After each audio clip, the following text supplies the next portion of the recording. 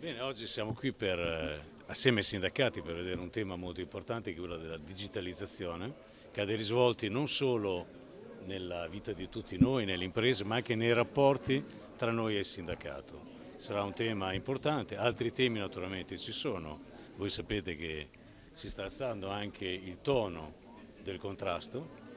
io personalmente credo, e lo dirò anche a Landini, che non è una buona idea in una fase come questa alzare il tono incitare alla rivolta sociale. Credo che abbiamo altri modi di affrontare i contrasti e peraltro incitare alla rivolta sociale ricorda tutti noi tempi che non vorremmo mai più vedere.